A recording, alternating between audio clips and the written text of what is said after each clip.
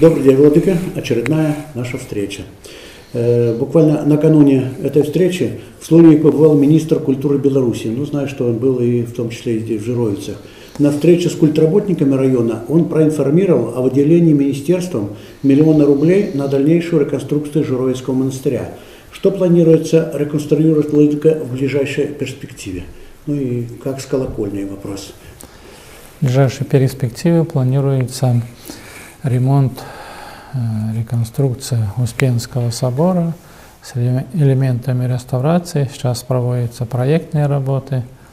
Ну в первую очередь, конечно, нужно заменить стропильную систему полностью или частично, потому что есть подгнившие стропила, уже мы их укрепляли как могли, чтобы крышу не снесло.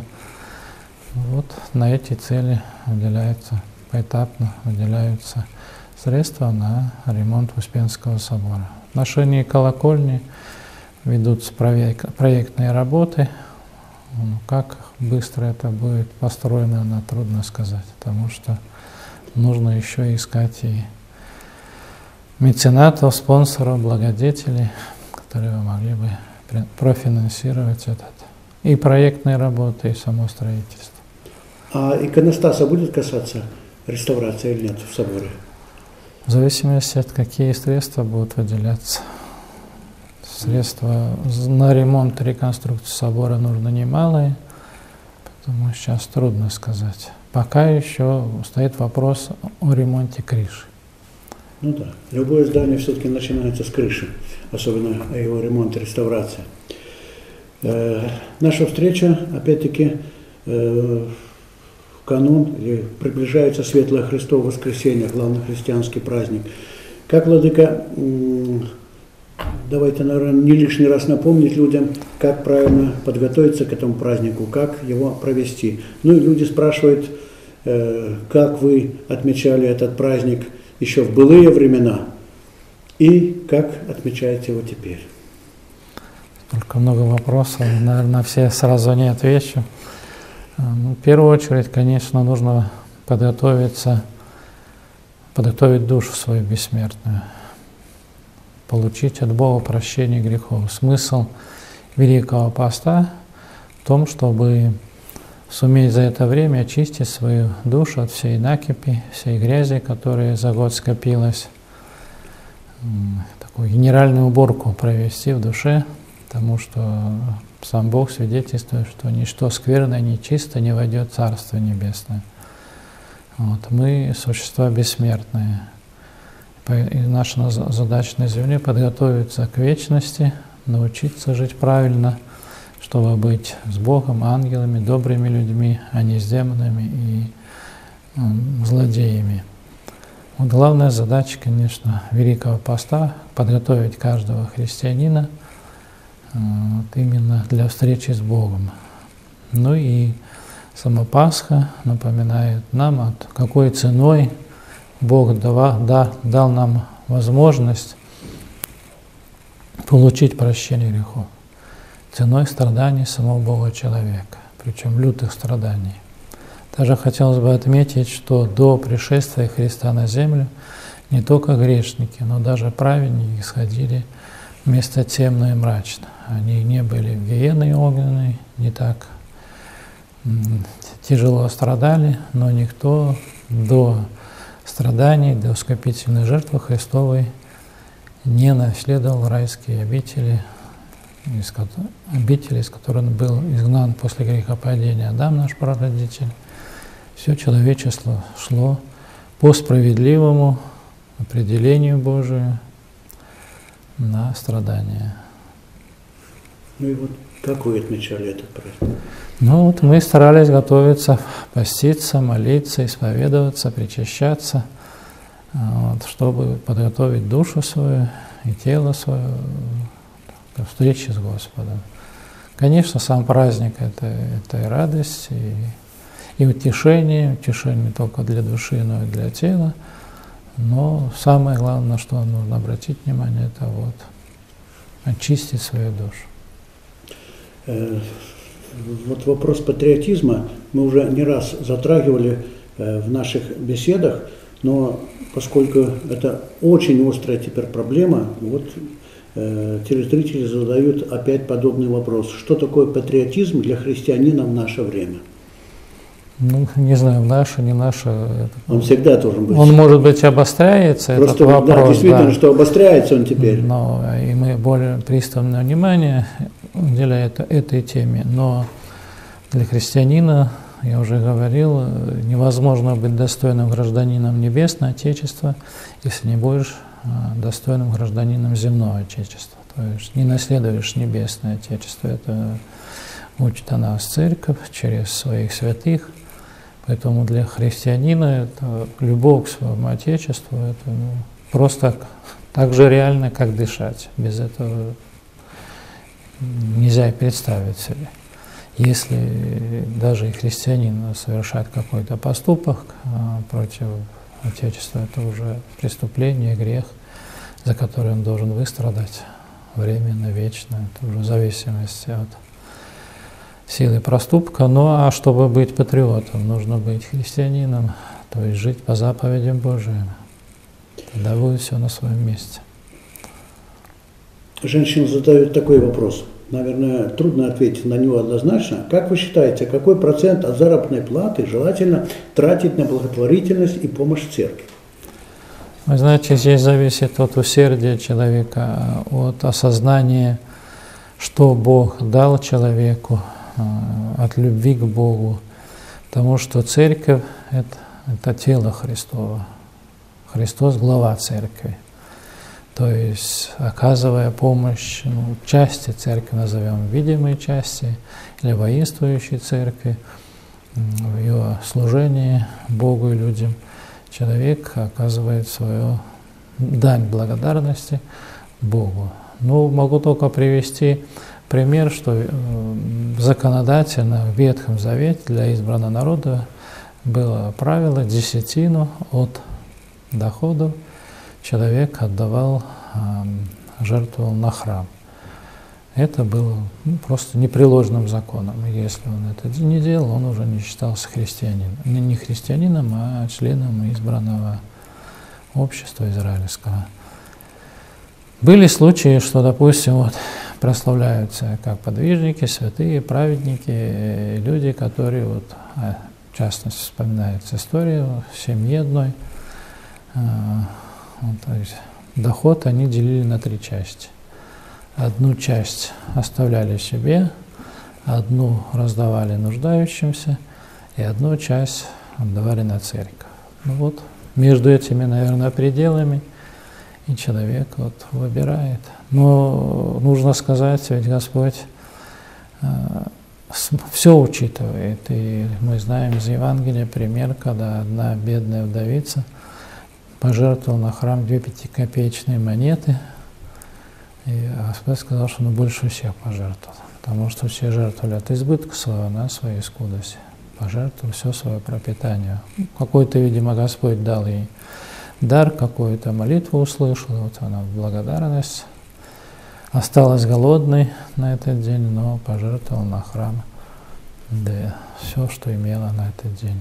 Ну, я знаю людей, которые, э, человек, который и свою пенсию практически всю жертвует, и пенсию мамы. Ну, то есть, это, ну, это, понимаете, жертвы мы сеем. Сеем скудно, значит скудно пожнем. Сеем щедро, щедро пожнем. Но здесь должно быть произволение человека. Если человек это делает с какой-то ненавистью, неприязнью, то лучше не делать. Постоянно телезрительница спрашивает, бывает человек на работе или в вашем окружении вам неприятен, совершает с вашей точки зрения нехорошие поступки, и вам хочется ему указать на это, но вы себя сдерживаете и стараетесь относиться к нему доброжелательно. С христианской точки зрения это можно расценивать как лицемерие или дипломатию. Как лучше с вашей точки зрения поступать в такой ситуации? Христианской точки зрения каждого, в каждом человеке нужно видеть образ Божий наступит время, и каждый из нас с этим моментом столкнется, когда Бога человека, Иисус Христос, каждому скажет, что ты сделал ближнему, то ты сделал мне. Христос принимает на свой счет наши дела по отношению ближних. Все мы по потомки Адама, все мы братья и сестры, как говорил один из подвижников по плоти, потому что у нас один прародитель. Конечно, разные характеры, разное устроение. Одни нравятся, другие не нравятся. Одни добрые, другие не очень добрые, злые. Всякие люди встречаются на нашем пути. Но мы вот это должны помнить. Что мы сделали ближнему, то мы сделали Христу. Поэтому похвально, что человек не, не высказывает какие-то негативные эмоции, э, не досаждает, ну и неправильно поступает, это ну, в первую очередь, наверное, с точки зрения человека, который задает вопрос. На самом деле, как это правильно, неправильно, мы не знаем. Ну, по крайней мере, вот святые, преподобные Паисий, в частности, советуют молиться за ближнего, если мы не можем с такой, с добрым чувством, состраданием подсказать, чтобы человека не обидеть, но исправить. И ну, насколько человек нас, кажется, признает, уважает, то многие факторы здесь. А по крайней мере молиться мы можем за каждое. Видишь, что человек неправильно делает, вздохни в нем к Господу, Господи, помоги ему исправиться, исправить свои недостатки, и это уже будет духовная милостыня. Опять-таки, постоянно телезрительница задает такой вопрос. Существует любовь между родителями и детьми? Между мужчиной и женщиной. Как правильно любить человека, чтобы не заслонить любовь к Христу? Какой должна быть любовь к людям? Вы знаете, ну, хотелось бы несколько моментов это отметить в этом вопросе, что вот в русском языке э, любовь, она одним словом обозначается раз, разные виды любви. Да. К Богу, к родителям, детям, там, мужу, жене там, и так далее, и так далее, и так далее – в греческом 22 Синоним. термина. В белорусской мове так само есть. Разные. Два. Два. Ну вот видите. То есть действительно разные виды любви бывают. Вот. Но опять же, как учит нас церковь, что если будет Бог на первом месте, то все будет на своем месте. И заповедь Божия уже неоднократно говорил, напоминал что самая главная заповедь – возлюби Бога всем существом своим, всем сердцем, всем разумом, разум, душей, волей, то есть всем существом своим, а ближний как самого себя. Вот как, какого правила мы должны придерживаться. Если это нарушается, если любовь такая бывает, особенно у родителей, и редко это случается, такая неправильная, болезненная, когда вот ребенок становится идолом, что все прихоти удовлетворяются, нет воспитания, и вырастает эгоист, который потом и сам мучается, и родители мучают. Вот это, к сожалению, и такая... Так и будут его дети дальше. Да, это вот трагедия. Поэтому, конечно, дай Бог мудрости, чтобы действительно у нас Бог был на первом месте, а остальное будет на своем месте. Вот такой вопрос. Владыка, как вы э, считаете, что должно быть в душе после прощения? Обычно легкость, если человек от сердца простил ближнему, он испытывает, как будто камень свалился с души. Таков закон.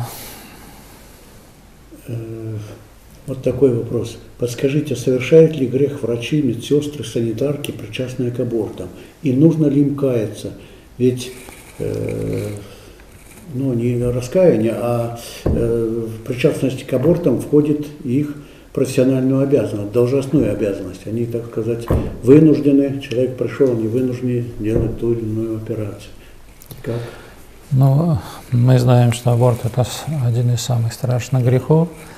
И, к сожалению, э, даже вот, он, вот эта беда, в частности в Беларуси, она, ну не то, что она нет, но, по крайней мере, ту политику государства поддержки многодетных семей, она умаляет.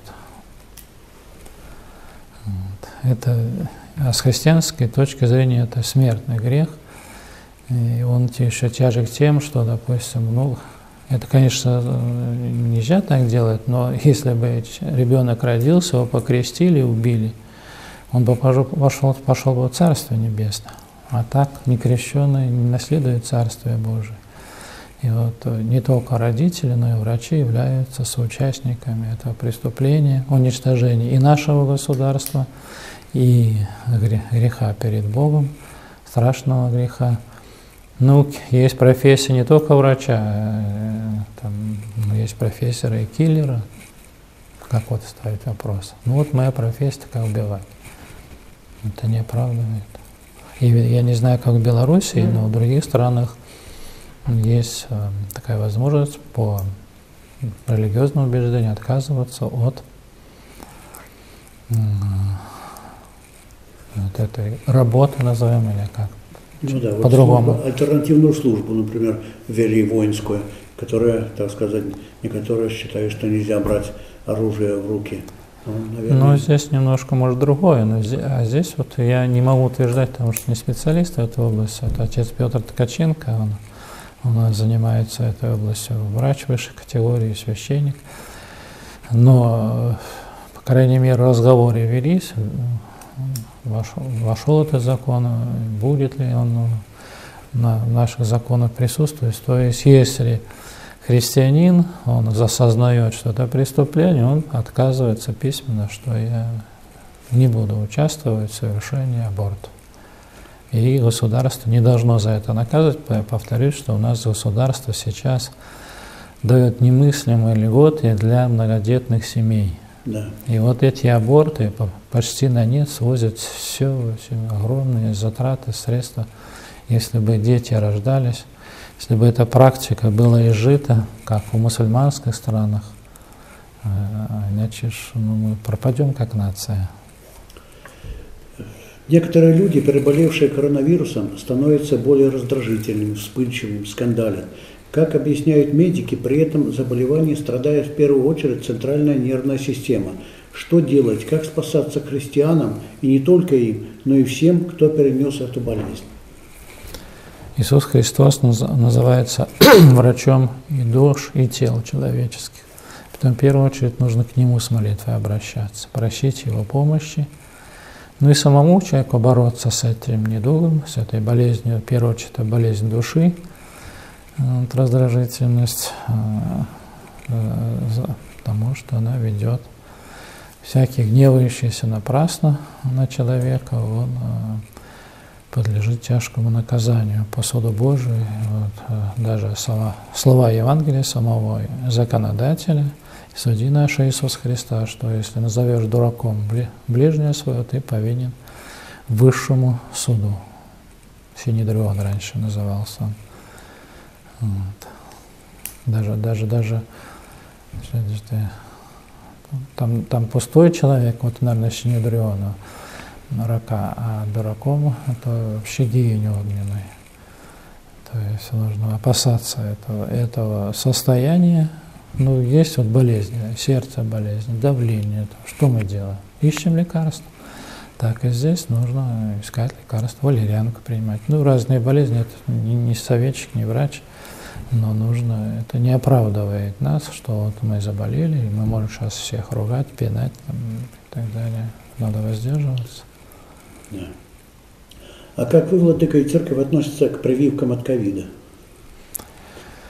Ну, разные прививки. Вот я сейчас слышал, что, допустим, не помню название, английская, европейская прививка, и она с такими большими побочными действиями, в частности, свертываемость крови увеличивается и умирают люди.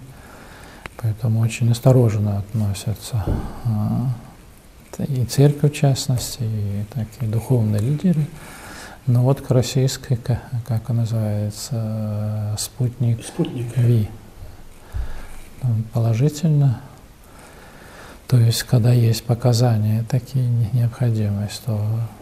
Ну, как говорил один э, специалист, что э, вакцина должна испытываться годами, ну, а поскольку такая Времени сложная терпит, ситуация, да. наверное, да. Ну, я могу сказать, патриарх привился, например архиереи некоторые, вот, с которыми я встречался, вот, а мы привились уже. Мы чувствуем себя нормально. Ну, поэтому это, конечно, действительно вот, настораживает, что мало времени, испытательный срок малый, но и болезни терпит, отлагательство. Ведь третья волна, там уже начинают говорить и о четвертой волне. Поэтому думаю, что российской прививкой можно прививаться. Э, вот вопрос, э, мы буквально два вопроса назад, когда говорили о родителях, э, такой вопрос, почему Господь попускает детям болезни, иногда забирает их, если дети практически безгрешны. Ну, не раз мы этого вопроса касались, но тем не менее можно, я думаю, что напомнить.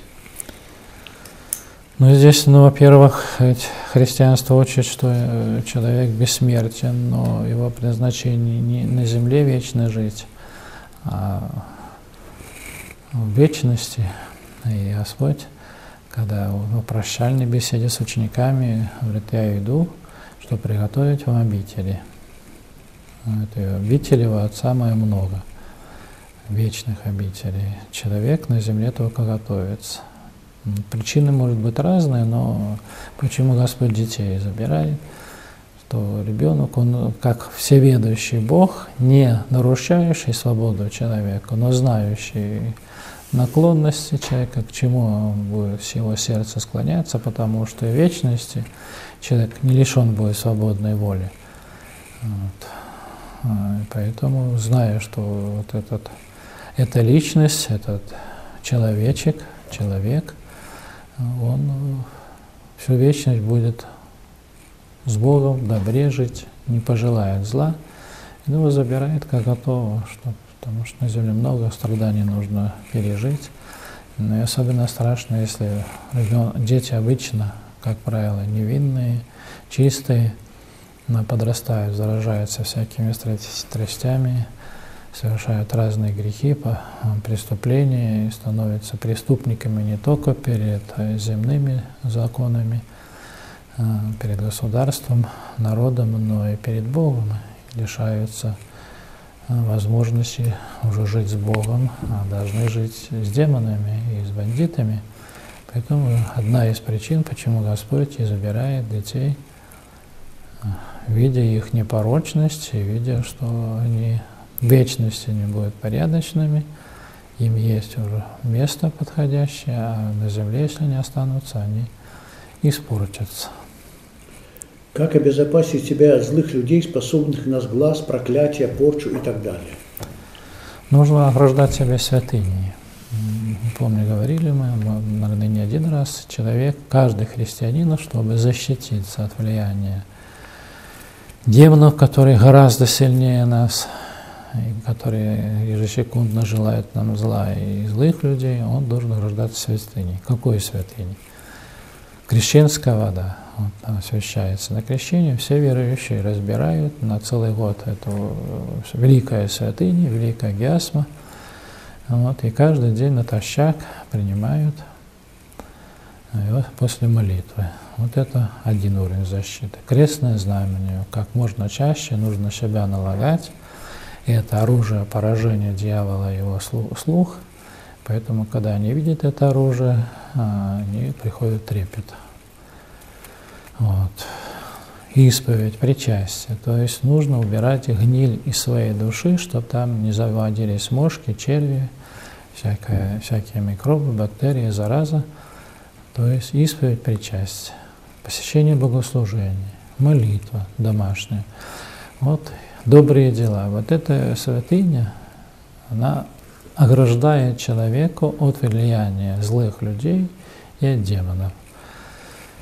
Ну и, конечно, э, нужно знать, что если мы какой-то проступок в отношении ближнего совершаем, особенно тяжелый, то его проклятие будет иметь если мы не виноваты перед ближними, как бы ни проклинал кто нас, это проклятие возвращается к нему на голову. Вот это тоже непреложный закон, за которым нужно следить. Как принять заповедь о любви к врагам? Ну, эта заповедь, конечно, это уже высший пилотаж. Так сразу как и ребенок, рождаясь, не ест мясо, а молоко материнское, так и здесь нужно стараться жить по заповедям Божьим, по Евангелию, и постепенно человек приобретает любовь сначала нормальную к самому себе, потом ближнему. к Богу. Вот. А потом уже к врагам. Ну и мы должны быть подражать Христу, нашему предводителю, нашему Отцу Небесному. Он на кресте в страшных муках, оплеванный, мечеванный, молился за тех, кто его распинал, кто ему страшные страдания принес. Отче, прости им, ибо не знаю, что делают. То есть не осудил их, а нашел ну, повод просить им помилования, потому что не знали, что делать. Они не знали, что, ну так, премудрость Божия сокрыла, э, считали, что это обычный человек, и даже многие считали, что это обманщик, лжепророк. Вот, такие ему страдания приносили, доставляли, и он молился за своих распинателей. Ну и тоже неважный э, факт, что когда мы читаем молитву «Отче наш», есть такие слова, «И остави, то есть прости нам долги наши, грехи наши, как и мы прощаем должникам нашим». Непреложный закон. Мы не прощаем, и нам нет прощения. Поэтому нужно себя понуждать, по крайней мере, для начала стараться не делать зло нашим досадителям, тем, кто делает нам неприятно, больно, ну и стараться молиться за них. Молиться. Ну и потом еще нужно, важно помнить, что вот это зло, злоба, которая у нас поселяется кому-то, она разъедает в первую очередь нас самих. Почему Господь так и заповедует строго? Любите врагов ваших, личных врагов, э, тому, чтобы злоба не разъела наше сердце, нашу душу, наше тело, чтобы не стали и телом больными, не сократили себе жизнь, не сделали ад уже на земле в своей душе. И закончим нашу беседу вот с таким вопросом. Если юбилей у человека совпадает с Великим постом, как быть, как его отметить? Сходить на исповедь, причастие, перед этим подготовиться, как народ говорит, поговеть, вот, сугубый пост, молитва, чтение духовной литературы. Вот. Ну а уже после Пасхи можно в кругу близких, знакомых скромно отметить. Но ну, не так, чтобы голова болела и плохо было. Ну что ж, будем готовиться к главному празднику, чтобы встретить его, так сказать, достойно. Да, и чтобы он для нас был спасительным.